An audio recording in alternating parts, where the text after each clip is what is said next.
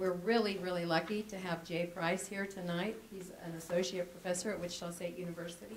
He's also the author of several books, one of which is uh, titled Kansas in the Heart of Tornado Alley. And he's going to talk to us about the case study he's done on tornadoes. He said, when I interviewed him, he said, people in other states think that we're being hit by tornadoes here in Kansas every day and that we just have to dodge them like crazy. And, and I thought that was really funny, but I know that is kind of, of a, a thought that people have, that we, we have to chase tornadoes every day. I was 21 years old before I saw my tor- first tornado. And he said he's talked to people that are, are up in years, I believe is the way he put it, who've never seen one. People outside of our state can't believe that.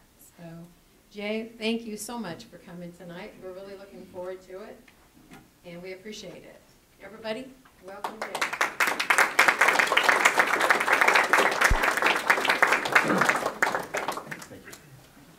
The inspiration for this talk came in March of 2007 when my parents were visiting from New Mexico. I'm not sure your and- mic is actually on. I'm It- sorry. Straight around now. There we go. Better. I might have hit it off. Um, my parents were visiting and they were wondering what all the storm uh, announcements were. And I was sitting with them in their trail and they said, Oh, those things happen. Don't worry, don't worry. Well, then Greensburg comes on. And okay, that's not normal. Uh, that's not every day. So uh, we learned about Greensburg that night as it was happening. And in response, it struck me how much tornadoes are a part of our lives here in this state, even for people who may never have seen one. It seems that everyone either has a tornado story or knows someone who certainly does. I started working with Arcadia, which specializes in local and community photo based histories. So that's what the, the publisher uh, that uh, produces this. The uh, the books that they come out are available local bookstores. Some authors bring books to sell. Um, I'm not one of them. I tend to emphasize going to the local bookstores. So, uh, you know, visit your, your local bookstore or talk to your local bookstore about perhaps getting something like this. And I'll pass this on in in just a little bit here. We had discussed how to frame this conversation. I knew that Greensburg alone would be too detailed, and there was so much interest with Greensburg that there really wouldn't be an in, there, there would be saturating the market. We had talked about Tornado Alley in general, and that was too big a project to talk about tornadoes in a vast stretch of territory that goes from Canada down to Texas. That's way too big. And so we settled on Kansas itself, and that decision helped frame our conversation. And we got us to thinking a little bit more about well, what does it mean to be a state so identified with tornadoes? The book is not a, an encyclopedic history of every tornadic event in the state. Uh, there are other books, Fitzgerald's, for example, that does a better job at that. This is a sampling. And invariably, there will be events that don't get covered in here, not because they're not important, but it's a sampling of what has happened. What we wanted to emphasize instead was the cultural aspects of living in Tornado Alley and the response of the emergency teams, the use of tornado imagery and art, and so forth. That's what we wanted to, to uh, address. I put together a team of students as well as one other uh, colleague of mine, uh, Dr. Torbenson, who's a geographer. One requirement to be on the project, though, is that all of us had to go through storm spotter training hosted by the National Weather Service. And I do recommend everyone do that. This doesn't train you to go out and chase tornadoes. In fact, if anything, they encourage people not to do that. We'll talk about some reasons why that might be.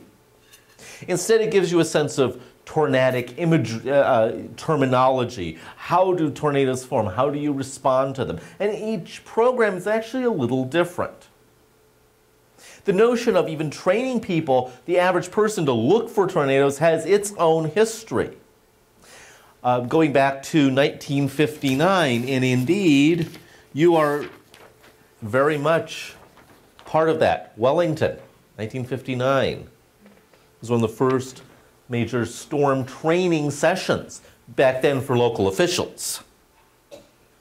But we'll talk about how we live with the tornado. And as was mentioned, we are associated with the funnel cloud. Kansas is almost de facto the tornado state. Even though some of the most vicious tornadic events that have happened in recent uh, years have taken place in Missouri or to the south. And like all stereotypes, whenever you hear something that just reinforces the stereotype. So when a tornado hits Chapman, well, that reinforces it's the tornado state. But we don't think of Alabama as the tornado state. We don't think of Massachusetts as the tornado state, even though tornadoes have hit there as well. So why? Snowden, Flora, one of the nation's first major meteorologists to study the tornado, based out of the National Weather Service office, the Weather Bureau office at the time, up in Topeka, said this in the 1919 Monthly Weather Review. A tornado, a tornado, frequently misnamed a cyclone, is the most spectacular of all storms known to inland America, especially so in the prairie states, where the characteristic cloud can be plainly seen for miles. It is almost irresistible force and is so terrifying the damage and curious results of the enormous velocity of the whirling wind and sudden drop in pressure in the center of the vortex are so impressive that once seen, they are never forgotten. Well built houses explode and are carried away in small pieces, and stately shade trees that have sheltered generations for uh, families for generations are uprooted or have their limbs twisted off short as the whirling, writhing cloud descends from the sky and strikes them in its path. Yet, perhaps a frail shanty within a few feet will escape without a board missing. It's the quirkiness, the freakiness of tornadoes and tornado tornadic damage, I think that brings the public attention to this. This is one of the very first uh, tornadoes ever photographed. This is in 1884, Anderson County. Um, probably heavily touched up, uh, and how much the touching up blurs what was there and how much of it, it accentuates what was there is a matter of some debate. Perhaps the most famous or infamous tornado photograph of the same year, by the way, 1884, is this from the Dakotas. Probably touched up with these little tendrils added in for dramatic effect. It's hard to tell. In a world of glass plate negatives, pho photographing something like this was a very great challenge indeed. Well, why here? What is it about the middle part of the continent of North America that makes us so tornado prone? And similar events will take place in any great continental landmass, but we are particularly influenced by a couple of features. First, we have the Rocky Mountains, and we have the Gulf Stream pouring over the Rocky Mountains with cold uh, or cool air clashing with warm air coming up from the Gulf of Mexico, Mexico, combining with the jet stream, and that confluence is what makes the powerful storms take place. It's that clash of hot and cold that make the violent weather possible. But even then, it, eh, we're always not we're not always sure why tornadoes form. Why does a certain uh, system form and not others. We had the privilege of listening to Josh Wurman, who from uh, one of the severe storm centers uh, in Boulder. And he came out to speak to Wichita State, and we, we sat in on his lecture. And he pointed out the degree to which we know what happens way up in the atmosphere. We have a reasonably decent sense of what happens right on the ground. What happens in between, we don't know. And Doppler radar, incredibly important and yet is not the, the, the magic solution that people think it is. He pointed out a series of photographs of hook echo, hook echo, blob, hook echo. The blob produced the tornado, the hook echoes did not. which is why going out to photograph them is very dangerous, which is why it is not recommended for the average person to, uh, to go and do this. If we look at tornado incidents by state, again, this is from the National Weather Service. This is 1953 to 68. This is the this was the period that brought us Udall. This is the period that uh, brought Ruskin Heights. This is the period that brought us Topeka. And yet, you notice the upper figure the total number of tornadoes, the lower figure the total days in which tornadoes occur. So the number of tornadoes, we just look at the upper period. Just over a thousand for us. Oklahoma, though, has just slightly more. But Kansas is the tornado state to a degree. Oklahoma just isn't quite. Texas has the most, but that's not surprising. It's got the biggest landmass to have storms appear on it. But you'll notice we have high incidences of tornadoes across the plains up to the Dakotas.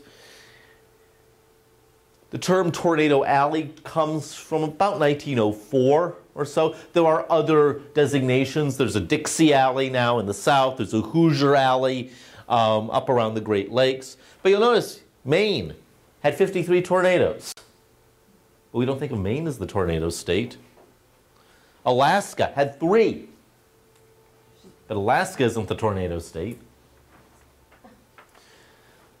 In the south, a lot of those tornadoes actually are out, uh, outcomes of uh, hurricanes. So when hurricanes slam onto shore, they'll spin off uh, tornadoes and vortices. Maybe by this, at this point, too, we should talk a little bit about terminology. A cyclone is any weather system that rotates. So a tornado is very much an example of this. So is a hurricane or a typhoon. I suppose on a small scale, so is a dust devil. so that means then that all tornadoes are cyclones, but not all cyclones are tornadoes. what caused these? Well, we're not, we weren't always sure. In fact, up until very recently, we handled tornadoes with essentially folklore more than anything else. You say you see this from uh, the Kansas Cyclopedia of 1912. A number of tornadoes occurred from 1880 to 1882 when there was but little rain, and, but none rec are recorded in the years 1883, 84, which actually is not at all true because we have photos from Anderson County in 1884. But there you go. When there was plenty of rain during the spring months, and in this part of the world, tornadoes tend to be a, a spring uh, event, not exclusively, but primarily so. In the south, they tend to be a late winter event. The tornadoes of 1881 owed their origin to the union of the two currents of air, one a cold, dry wind descending from the Rocky Mountains, and the other a warmer current heavily charged with moisture from the Gulf of Mexico. They got that right. When these met in Kansas within an atmosphere of high temperature and of almost complete saturation, the cold current attacked the warm one, and in the red rushing air developed the funnel-shaped cloud. Okay, well, you were getting there. We're getting there. But then they say, with the extension of civilization westward and the cultivation of the soil, which enables it to retain more moisture, the planting of trees and the irrigation of districts once barren, destructive storms are growing less frequent, and it is probable that in a few years they will be a thing of the past. they said this in 1912. Okay, not so accurate. This is also that classic model that they used to call the rain follows the plow, the belief that if you plow up land, that the moisture released and the, then the production of, of crops and so forth will bring in more, it will somehow attract moisture, and therefore if moist periods have fewer tornadoes, that's what they're assuming. Rain does not follow the plow, and this is not correct. But it was about as good as almost anything else out there. the, the study of severe weather alone has its own very long, complicated story. Basically, going back to the U.S. Weather Bureau. Initially, actually, was the military, uh, the Signal Corps. That was the initial um, scholar, if you will, or a source of scholarship for weather of all sorts, including tornadoes. Then the Weather Bureau takes on that function. The, uh, and this is our friend Snowden Flora, uh, right uh, on the right here in, in Topeka. Initially, weather equipment was simply placed on whatever high building was available, whether a hotel, a post office, something like that. By the turn of the century, a number of weather stations will appear in Kansas as they do across the country that are specifically built for, the for this purpose. You have the Weather Bureau uh, station up in Dodge City, for example. Below is the one in Iola. People don't, remember, don't uh, often realize we had a Weather Bureau station in Iola. We had one, we had one in Concordia. We have one in Goodland. And a lot of times their job was to read the, the charts as best they could. And they were really designed not for severe weather, but they were designed to help farmers adjust to whatever weather systems were coming their way or a cold front. And they would raise their flags up and you'd show that.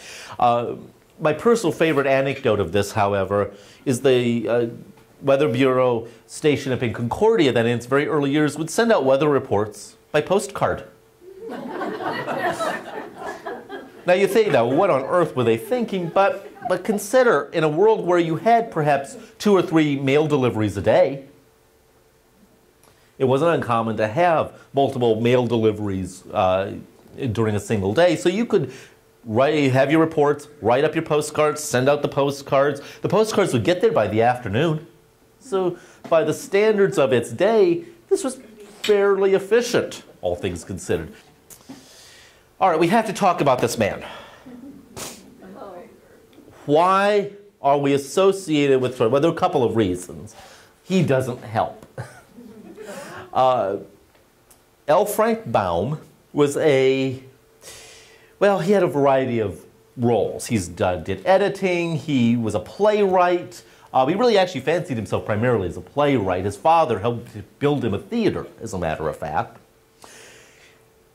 The story is that he was traveling around and perhaps got waylaid by some tornadoes when he was traveling in Kansas. Maybe. Who knows? Um, he had a lot of family in South Dakota. And there is also a school of thought that says that uh, Baum was actually talking about South Dakota when he wrote his book, the Wizard of Oz, uh, but didn't want to offend his Dakota relatives, so just planted it in Kansas.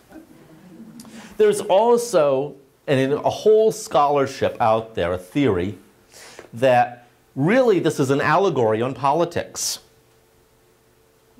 Um, usually I don't go into that, but it's a, you're missing the debate, so I'm going to give you a political history anyway.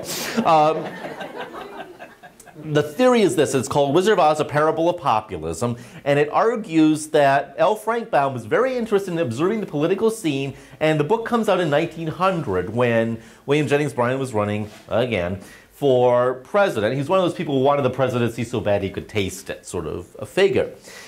And there is a rule of, there's a hypothesis that the characters represent various aspects of the populist movement. Dorothy comes from Kansas, which is where populism really has its heart and its strength. Cowardly Lion, reformers. Scarecrow, farmers. The Tin Woodsmen are laborers. The Wicked Witch of the East are the, the big uh, barons uh, and financiers, the Wicked Witch of the West being the, the cattle barons and so forth, who, of course, is killed by water, irrigation. Um, Dorothy herself has her little dog, Toto, teetotalers, mm, and so on and so forth. Uh, it's possible. Uh, I actually argue that there is some element of truth to this because you know, Baum never wrote in his own hand, I, I mean it to be this. There's no evidence of that. He himself argues that Oz came from looking at two file cabinets A through N and O through Z. Maybe.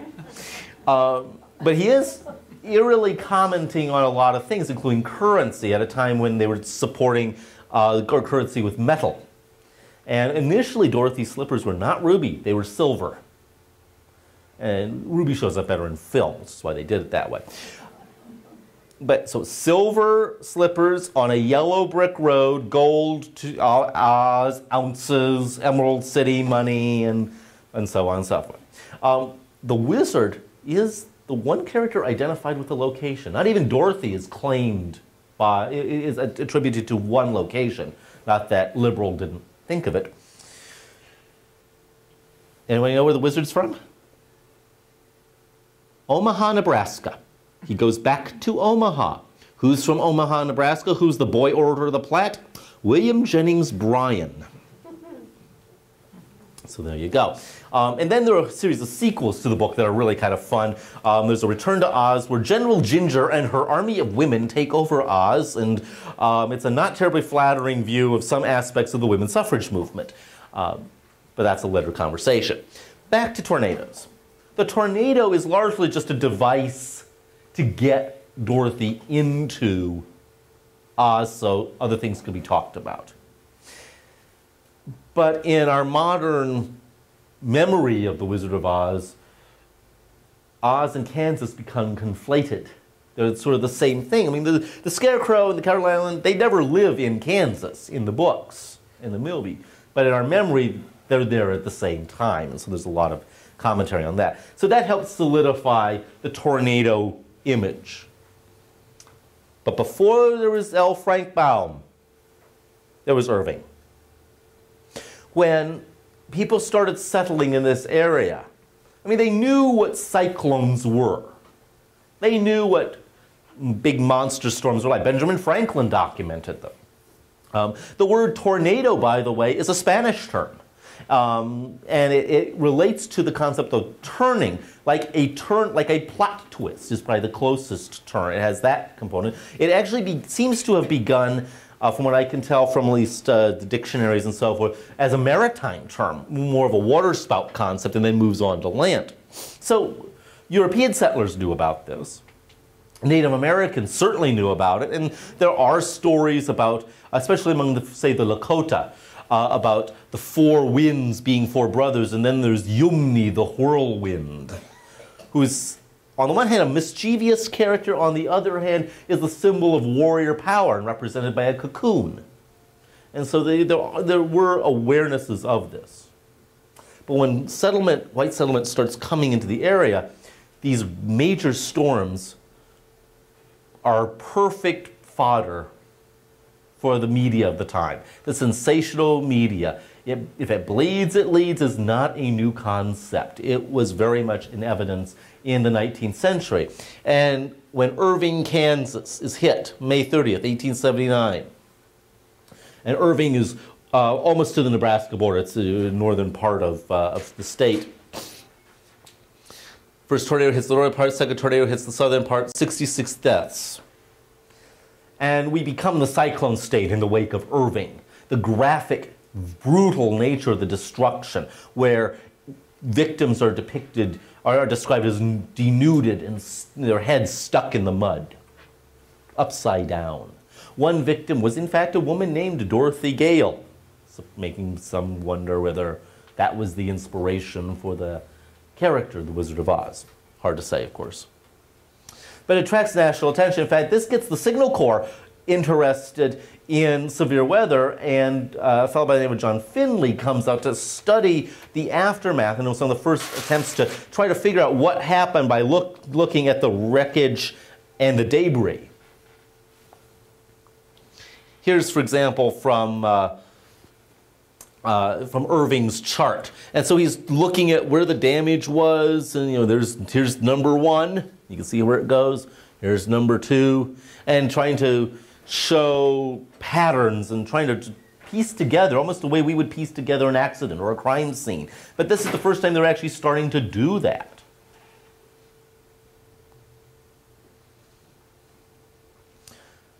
But you get, for example, the Osage County tornado of 1881, three deaths, 31, a dark, ugly funnel-shaped cloud formed about the center of the storm, and as it rose and fell, it began to sweep down the river. Everyone knew what it meant. Everyone, everybody knew that ruin and death would mark its course. I mean, this is the type of stuff that journalists and publishers at the time brought out again and again and again.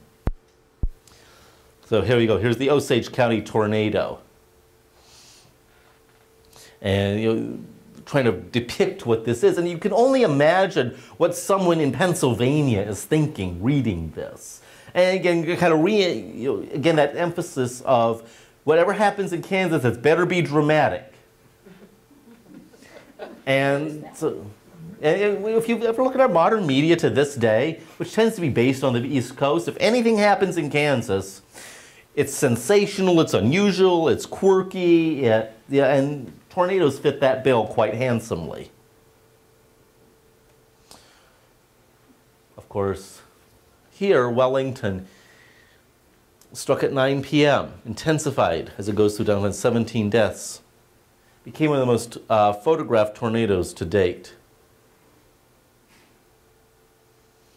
Devastating. In fact, a picture of the Lutheran church upturned is in your calendar, as a matter of fact.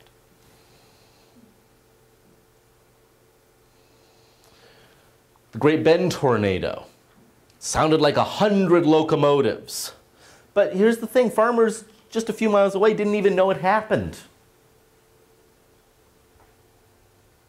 And people start visiting. There's a curiosity. They want to see what happened. We'll see in particular some examples of that in a little bit.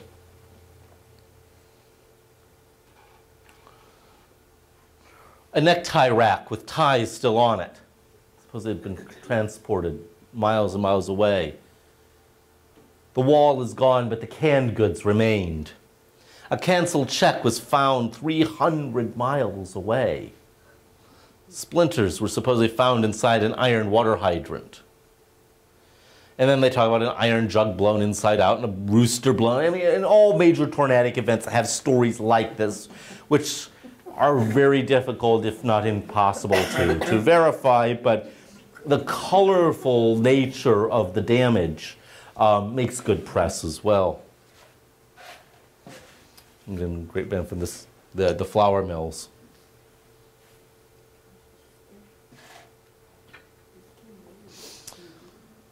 In 1917, a tornado touchdown by Cheney tore through Andale, Sedgwick, and Florence. 23 deaths, 70 injured. At a time when people simply don't know how to respond. You don't know the tornado is there until it's upon you. There's no way to, to, to really get a sense of what's going on. And so people are relying on folklore. Well, the sky doesn't look right, or a tornado won't strike the same place twice, or not. There's Andale, or what was left of it. The mythology of, the, of a tornado never striking the same place twice, well, how about three times? Take the poor town of Codell. On May 20th, 1916, 1917, and 1918. Each of those, same day, three years, Codell. Right, yeah, people probably figure out they're doing something here.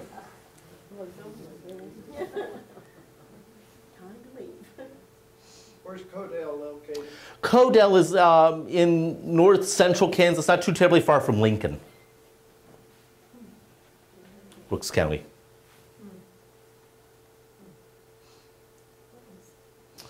Liberal, hidden in a dust storm. 165 homes, 44 business damages destroyed.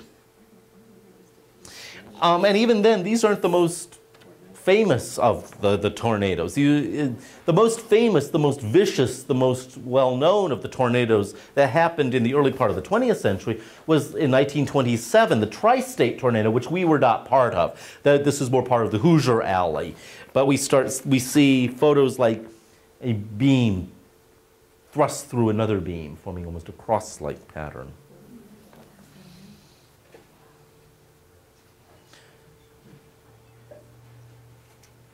Again, Liberal.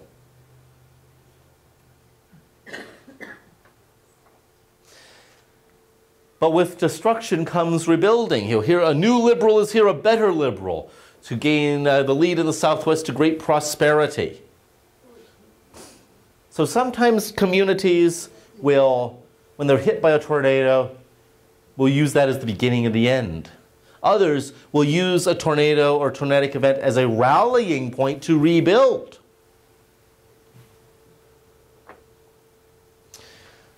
Or we take the most famous or infamous of the Kansas tornadoes, Udall, May 25th, 1955.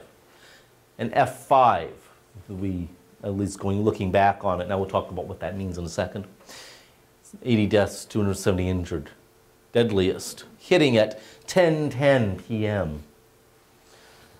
There was a belief that tornadoes didn't happen at least too late at night. Well, Wellington would, would tell you different regard on that as well, as did uh, Udall.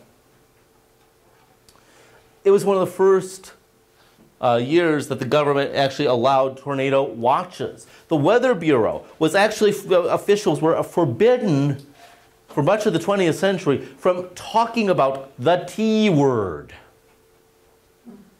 because they thought it would spark panic. Again, the devastation.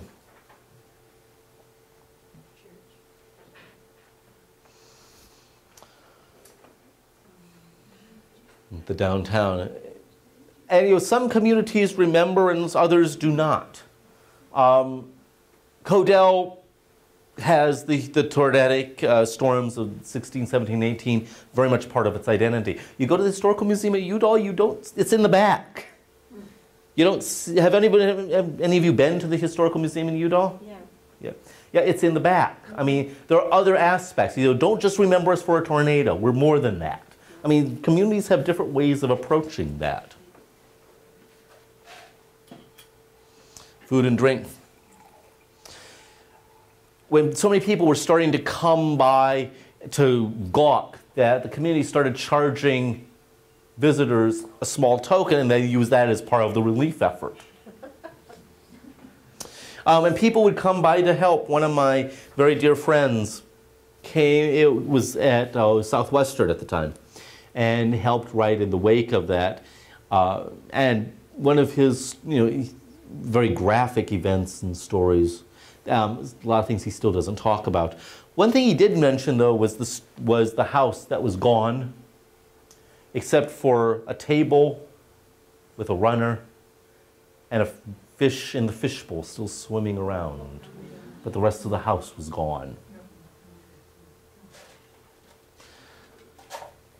And burning the wreckage of what had le been left. It's the football field now.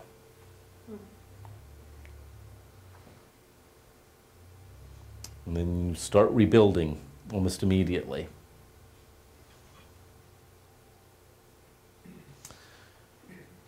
There's a tornado in Wichita, in the northeastern portion of the city, uh, in 1965. An F3, 27 injured. Most of the area is about 13th and Woodlawn, if you're familiar with that part, uh, part of the city.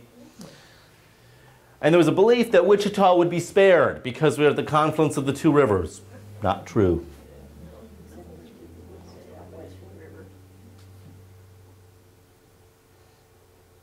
And then there's Topeka, another F5. 66 deaths, 460 injured. The first tornado to have over a million dollars in damage. 10 million uh, at Washburn University alone. One of the buildings destroyed was the building that housed the original site of the Weather Bureau station, which had by long, then long since been transferred out to the airport. By the post-war years, the airports were really where the weather stations were. But the irony is that that, that building itself was also gone. And then there was the belief that Burnett's Mound would protect the city. Abram Burnett, a Potawatomi chief, um, had stipulated that this would be a sacred place and that no one should disturb those who were buried around it. Well, the story seems to have validity when the city decides to build a huge water tank on Burnett's Mound and now a tornado, a tornado hits the city. Okay, this is on uh, Washburn's uh, campus.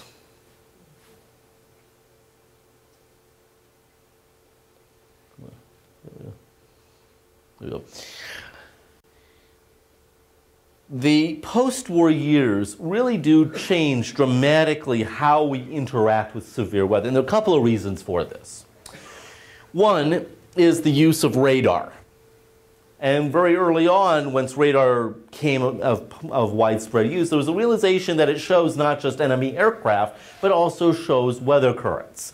And so this becomes a useful tool. Doppler radar, the notion that, that there's a shift in the frequency of, of, of the bouncing waves as a storm moves across, suggested a great usefulness. And one of the first experimental stations takes place in Wichita in 1959 at the weather station there. But it's too preliminary. It's just not sophisticated enough to be of much use. So we're not going to see Doppler radar as we would understand it until the 1990s. And then you have the uh, interior of the uh, weather station. You have down here Tinker Air Force Base, 1948. This was very significant because it was the first time that meteorologists working with the newly created Air Force, and up until pretty recently, your really top-notch uh, meteorologists came out of the Air Force. That's where your weather, big weather training took place. And these uh, meteorologists noticed there are set, certain sets of conditions and what's going to interact with what in terms of air masses. And they wonder if this set of conditions will produce a tornado. Well, a tornado hits Tinker Air Force Base at Oklahoma City. They notice the very next day a similar setup is going to take place. And they say to the installation commander, be prepared, we think one's going to hit. And it does. And it's one of the first times that the use of predicting or the attempt to predict where a storm might go takes place. Now, again, this is within the military. Again, there is still this prohibition against using the T word, really until the 60s. It was to the point that meteorologists would, the, the most warning you could give was get on the phone, talk to your friends in the local media, and say, yeah, how's it going? How the kids? Yeah, yeah. By the way, we think there might be some tornadoes. I mean, that was, that was how warnings took place. And uh, you know, up until that time, people were sky watching. People were looking around, saying that you could do that. You could tell by certain arrangements of color in the sky, um, and with lots of, especially early photos of people standing there looking because that's what you did. Uh, and I've talked to a number of people who talk about uh, gender in this. When things look bad, the women and children get into the cellar, and dad will stand out to look and when dad runs in, you know it's bad.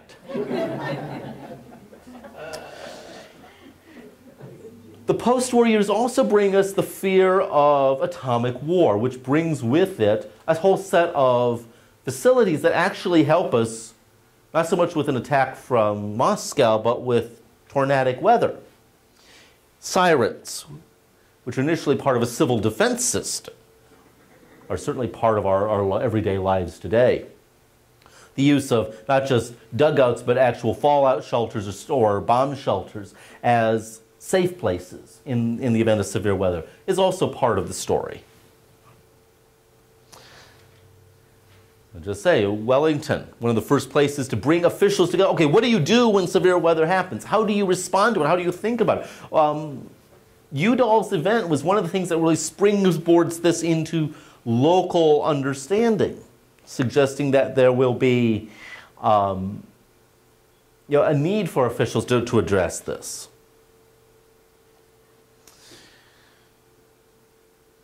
It's during this time then, then that scholarship work on tornadoes starts to become more and more evident. Um, another set of events will give rise to better and better um, uh, discussions of how tornadoes function and go. So um, the 1965 Palm uh, Sunday tornado, this is in Michigan. My father took these photographs, as a matter of fact. Um, inspired a young meteorologist by the name of Ted Fujita to look again at the pattern of damage and saying, okay, we need to, to get a better sense of this. And by studying them, he classified them, and that's where we get the Fujita scale from. But here's the thing, and Andover shows this.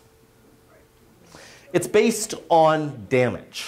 It's based on structural elements. And you could have a really severe, vicious uh, tornado go through a wheat field, and you'll never know how bad it was. When you have a, an event that will go through a populated area, like Andover, like South Wichita, then you'll see the damage, you can start seeing patterns and so forth. There might be more, there might be less. There seems to be some belief that uh, F or e, uh, EF uh, threes tend to, two to three tends to be the most common, but we're still not totally sure. It's still aftermath. Again, one of the most uh, well known for, for the Wichita area, April 26, 1991. F2 to F5, depending on when it, uh, you're talking about it.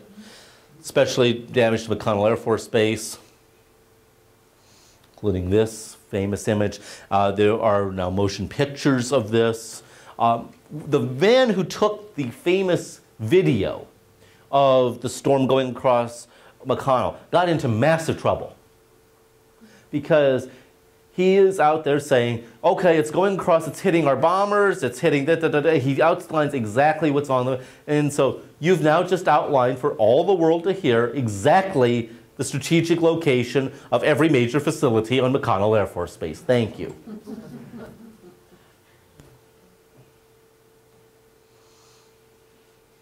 We've got another picture here. Here it is with the aircraft right below it. Um, McConnell, by, by contrast, has embraced in some ways the tornado event as a cornerstone of its identity. Um, the, the of court is called the storm shelter. There are a lot of uh, you know, storm-related types of, uh, of uh, features on the, on the installation to this day now. And then you can see going right across. And you see in homes, motor home, mobile homes, and so forth. Um, by the way, there, you, let's address this stereotype now about mobile homes and tornadoes. I mean, that's one another reason why we tend to think of very severe weather hitting because they don't have a lot of resistance. A strong brick building might withstand a very modest tornado. The mobile home simply could not. So we got see more damage from it. Uh, Udall, right, one of my very favorite ads from the Udall Historical Museum, shows this big front page ad advertising a new Udall being rebuilt with manufactured housing. Come see our new mobile homes in Udall. I mean, they didn't make the association that we do. Uh, Mike Smith, who is in charge of weather data, um, even pointed out a couple of years ago a tornado did actually grace a, or, or, or swipe a, a place that makes manufactured housing and saying, oh, see, they're going now to the source.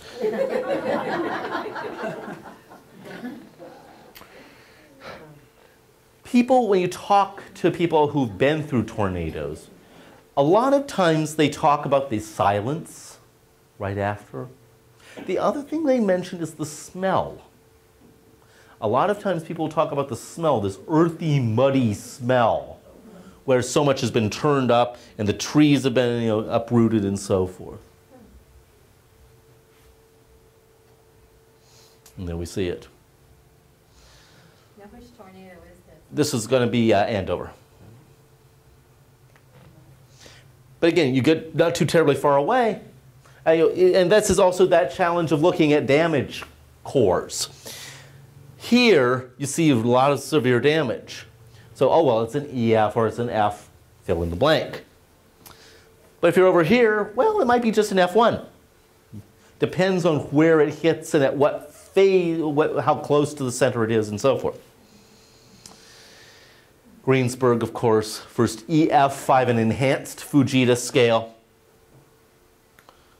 Levels 95% of the town. Uh, the town embracing a green image now as it's rebuilding. Part of that, of course, is due to the name.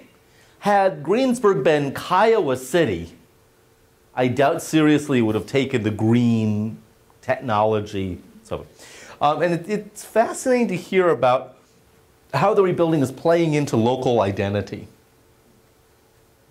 Here's the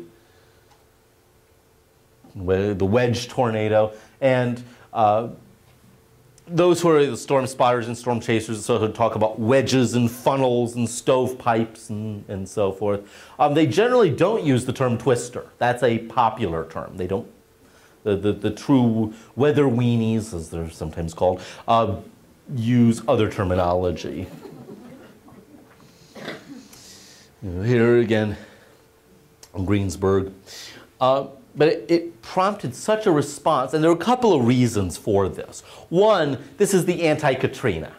This comes just not too far after the heels of Katrina. We're not going to do that again, and so there's a lot of money poured into Greensburg to try to rebuild as fast as possible, and a lot of pop publicity, especially with celebrities and so forth. Um, sometimes the community has really embraced it. Sometimes they, okay, now what do we do? The, and, and then we start seeing communities within Kiowa County. Um, I've talked to some people who, who hint that the rival community of Haviland, that county seat rivalry, played up here. And Haviland, not wishing at all ill of their neighbors in Greensburg, not for a moment.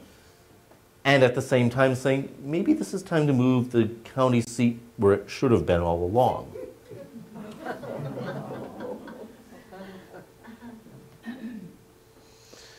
The big well.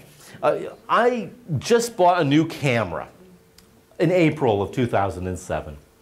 And I was driving back and I'd hit Greensburg about dusk. And I loved taking pictures of Greensburg. It's a very photogenic little town.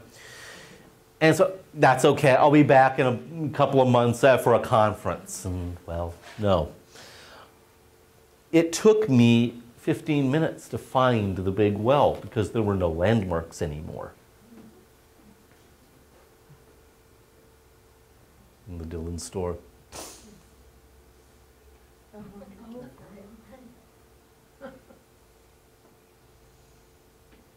And just recently, when this book came out, one of its main debut came from a storm spotter meeting at Exploration Place. And it was held April 14th. Um, in fact, we had initially planned uh, Chance Hayes, who is fantastic as a speaker for uh, weather watching and, and awareness and so forth. He was going to be the keynote speaker. He couldn't make it that day because they were too busy watching this confluence of things that were going to look really bad. And you knew it was going to get bad when the, uh, you know, they shut down Wichita and shift everything to Topeka because we're about ready to get hit. And it got really scary. I mean, I was ready. I mean, I had things, you know, I the, the, cats were in the cage and they were downstairs and I had the computer ready and then boom, it turned and there they went there. It flanked us. But it reminds us how vulnerable we can be. My father texted that night saying, You'll do anything to sell a book, won't you?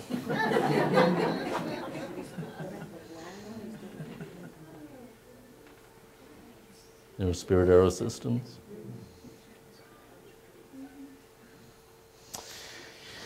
Somebody's asking me, am I a storm chaser? No. Um, I actually had the privilege and honor of talking with one of the very, very, very first storm chasers. His name is David Hoadley. Um, he uh, came, he, would, he travels across the country looking at storms. He started doing this in the 50s. And the story is that a reporter was asking him, well, why are you doing this? And well, he talked about the, these reasons for it. And the, the comment was made in the process that, yeah, you're so busy chasing tornadoes, you're not chasing girls. Indeed, David Hoadley did say he's chased storms every single year, with the exception of one year, and that was the year of his honeymoon. Uh, he's the one who also gave me uh, a number of sets of cartoons. He has a wonderful, he's a great cartoonist, and uh, a couple of his uh, cartoons appear in the book. Uh, one of them is the Mujita scale, for example. but as, through the humor, he, there's a bite to it. And he encourages responsible storm behavior. He is a professional. You know, do not go and do this yourself. We've been lulled into a false sense of security into thinking that, oh, well, now it's, we, we can download a, you know, weather, the weather radar on our phone. We'll go out and take a look. No. Leave it to people like Bryce Kintigh. This is, you know, if you ever see on uh, Channel uh, 3, um, you, you'll hear Bryce sometimes. I did ride with him a little bit. I very much learned I don't have the driving skills to be a chaser. But then you have, for example, Vortex 2, a consortium of different organizations coming together to, uh, prom- to promote better study of weather. And, the, and one issue, and this comes out of the, the radar issue. If you're close to a, uh, an object, radar works great. The more and more distant you get from an object, the weaker, weaker the si- signal is. So you want to get as close as you can. Well, how do you get close to it? Well, they come up with the idea that we send people out, like grad students, out close to this. And you can, I can only imagine what the, the university lawyers are thinking about this one.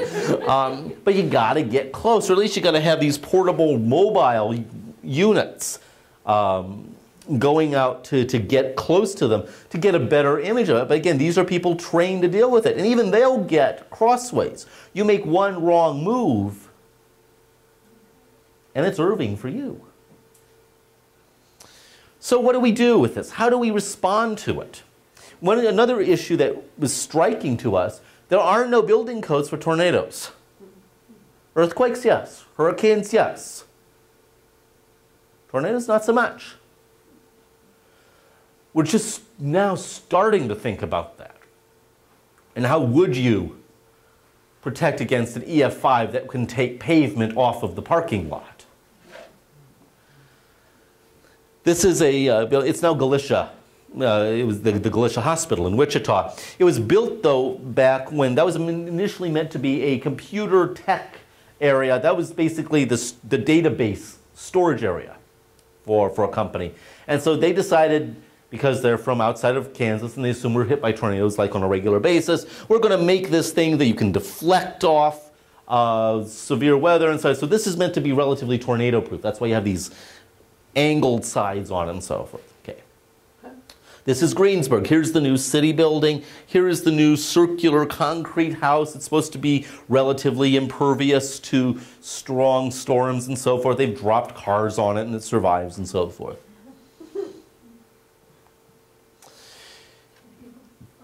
But then we have the cultural side. This has become more visible in more recent years. Um, this the Tragic Prelude, John Steuart Curry's famous, infamous, beloved, despised mural about Kansas's origins. Essentially uh, depicting bleeding Kansas with the tornado in the background. Kansas, when this was debuted in the 1930s, Kansans hated it. How dare you portray us this way? Uh, so much so that things fell apart and uh, John Steuart, they, they created an incident so it couldn't, the whole mural pattern couldn't be finished, and Curry got all uh, wound up and stomped off in a huff and never signed it. So that's how that works. And this is what people think of with Kansas. These photos were collected in the wake of Andover, never claimed. 20 years later, they were brought out again in the city hall and laid out so people could go through and I was listening to people say, oh, there's Aunt so and so. They were finally coming home 20 years later. And others take a little more of a quirky side of it. A club owner and his colleague Wes Race we're speculating why do tornadoes hit so many trailer parks and so well, let me talk about that. Well, it kind of came up, well, why not celebrate it in a warped way? And so in the 80s, they created this event called the Tornado Bait Party. Hey, for Tornado Bait anyway, why not embrace that? And they had a whole EMS themed event and so forth. Wes Race gave the, uh, the poem, he created this poem all the mobile homes are huddled on the outskirts of the town, with their radios turned on, wishing they were underground, because a surrealistic dandy about one mile high has made up his mind to jump out of the southwestern sky. Tornado bait, we've been living on the moment, uh, on our real open play, acting really naughty, has been our order of the day. Our false pleasures getting more expensive every day. The sudden shock of recognition has blown us all away. Tornado bait Tornado Bait Party, it's a Midwestern affair. Tornado Bait, it's been an all day bash. Tornado Bait Party, I've just heard some windows crash. Tornado Bait Party, everyone's in the groove. Tornado Bait Party, I just felt the trailer move. Tornado Bait Party, smack dab in the whirlwind's path. Tornado Bait Party, not thinking about the aftermath.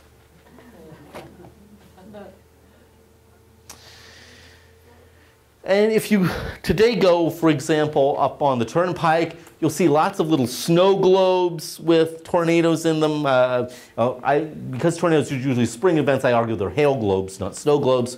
Um, or they're t-shirts.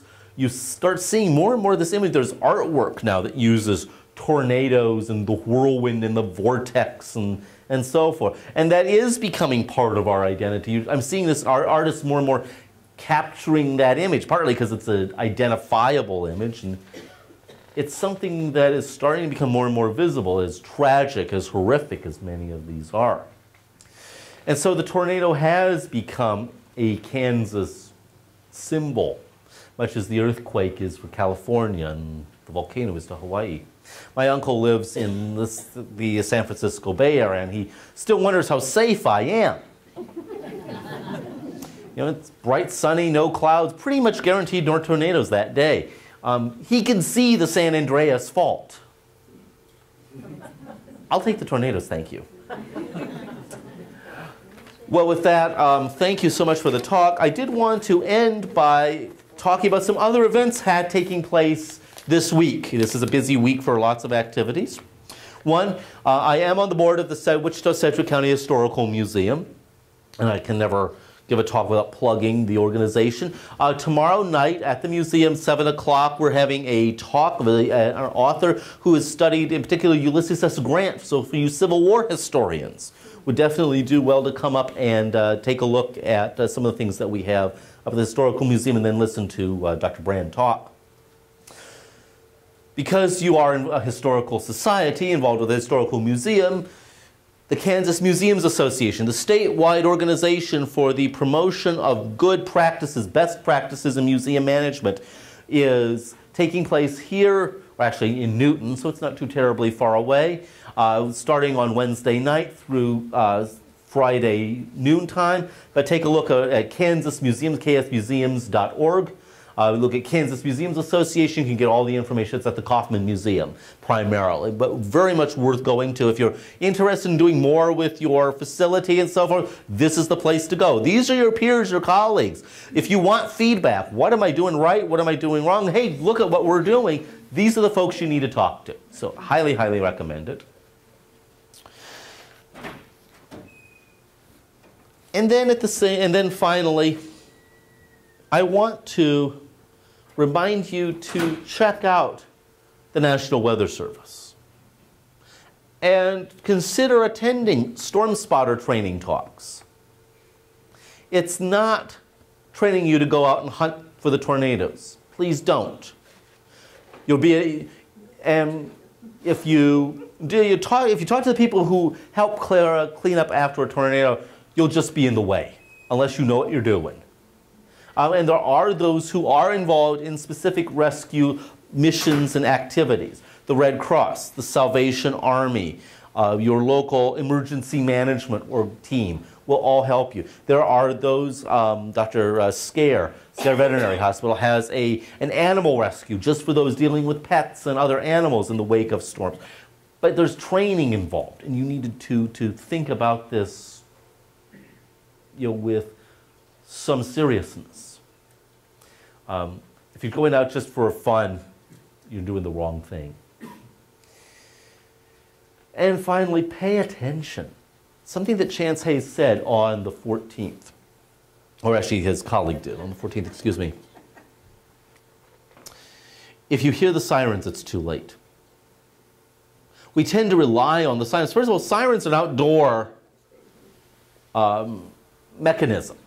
If you're indoors, you may or may not be able to hear it. Watch the news, watch, listen to the radio, watch your neighbors. If you get prepared, that's the number one thing that causes people to act. Seeing other people act. You preparing things in a rational, orderly way. can really make the difference between life and death.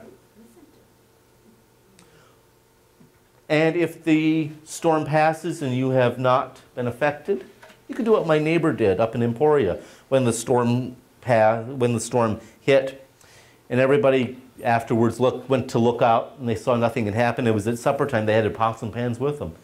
They held a block party. Thank you.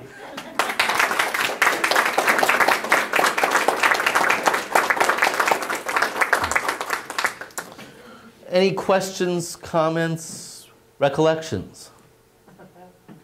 Ma'am? I was in the April fourteenth tornado Mm-hmm. by Argonia, Kansas. Mm. My daughter tried to get me to go to town to the church basement. I had a lot of trees along the road. I decided to wait it out in the house. I was in a small closet next to the door that goes to the double-car garage. It folded the walls and the roof on my car and my pickup. Didn't break a window on the car or the pickup or the house. It tore a lot of damage to the siding on the house and took the shingles off the roof. Mm. Took all my outbuildings totally gone. I do think, since I live on the Chikaskia River, that there was at least seven small tornadoes that came through there. Right. Yeah, that was an amazing, that was, a, even, even very experienced weather people were really spooked by this one. That's the one that hit the ones in Wichita. Yes, yes, across the state, really. There you are. Thank you for sharing that. Hmm. My daughter tried to get me to go to town. Do you Yeah. wish you'd gone? She's still not nudging me. Well, at least you made it, and that's what that was good. You went to an interior closet, and that's the right thing to do too, if you don't have a basement. The basement. bathroom has mirrors and glass doors, and, Yep, and I thought that was the smallest, safest place. And yep. The only thing that fell in the house was the thermometer above the kitchen sink. How ironic. Everything in the house was okay, You're fortunate on that. better believe it. And, and, and we've, we've taken different approaches to severe weather. I- for a long time, the motto was open up the windows because it was the pressure that does. We now realize that's not the case at all. But again, they weren't, they were doing the best they could. Anything else? Yeah. Um, I think it was the tornado that hit Haysville, and if it wasn't the same tornado, it was the same day, the one that Mhm. went through all through there. And it came through around Mayfield, just west of Mayfield, about two Mhm. miles. And it hit, uh, it went on my mom's land, it went down kind of the hedgerow, but then it went, um, across the road and missed the neighbor's house by probably not even a football field. Wow. And I asked her, I said, where were you? And I actually saw it that day. We were coming home from Wichita, and we saw it. And I asked her, I said, where were you? They're gone now, but I asked her, I said, where were you? And she said, we were standing on the front porch. Mm. She said, we, no, they weren't watching it. They couldn't even see it. Oh. It was rain wrap. Yeah. Oh, yes. It was rain wrap, and they couldn't even see it, and they were standing on the porch. And I just still gives me the heebie-jeebies because they were so close. Thank you so much, Sherry, for making that observation about rain. And that's the other reason why you don't want to go out and take a look at these. One, you're, you're clogging up the, the roads. You're keeping people who are doing their real job from doing their job. Um, but also, you're going into a wall of, of um, mist. You have no idea what's in there. And even professionals don't know what's going on in there. Um, and the way that generally seems to happen for structural reasons, when the storm goes across, there'll be heavy downpours, and then there will be this shelf trailing towards the rear. And then it's in there that you have the wall cloud, and then the funnel will drop from that. Um, and so the, the, the story is first the rain, then the pain. But at that same time, um, you, that's different from, say, a squall line, which is a very long, and a shelf cloud, which is this long, narrow that goes across. And it can be just as damaging with straight line winds. Straight line winds can be just as damaging as a tornado, as they kind of force themselves out of the, the storm. Um, and if you really want cost, although tornadoes can be expensive, excuse me, the most costly aspects of severe weather are hail and flooding. So it's still even beyond tornadoes. Thank you. Yeah. And if you have a hail, with bad storm warnings, the hail will come before the tornado. Right. And it's usually an anvil cloud, Mhm. as you can see. Uh, We've been hit very lightly with two tornadoes, the third Saturday in August, a year apart.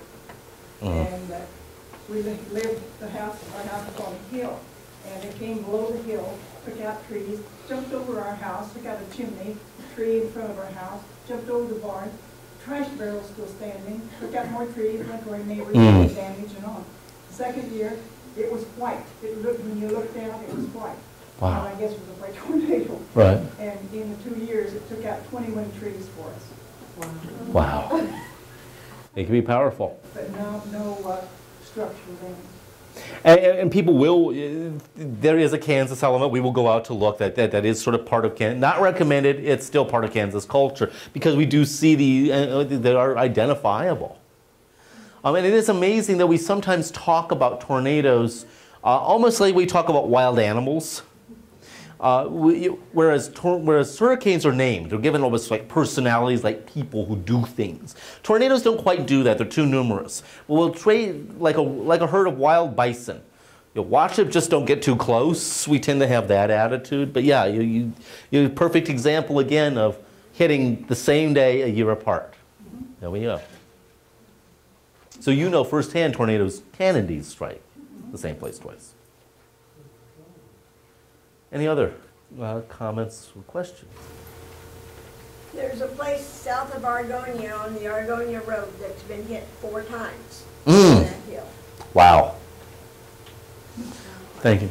They decided not to rebuild anything there. Right. Four times. See, now, They got a house in Argonia, and somebody said, I hope they're not moving close to me. there was definitely that. Definitely. Thank you. Thank you.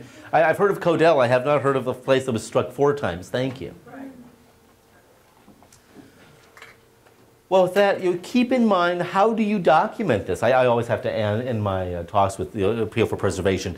Uh, remember events. How, what are people going to remember about if a tornado hits? How would they know about it? Are you going to photograph it? Do you keep memories? Do you keep recollections? Make sure the historical museum gets them. Make sure they're in good condition. Say, you know, in acid-free conditions. The Kansas Museums Association will help you with that. Uh, but keep that, that documentation in mind and think about well, what people, what are people going to remember about it? Because there are a lot of places that have very major tornadic events that you would never know about. They just prefer to, remember, to ignore it. Others, it's heart and soul of who they are. So think a little bit about that. Thank you so much for this opportunity.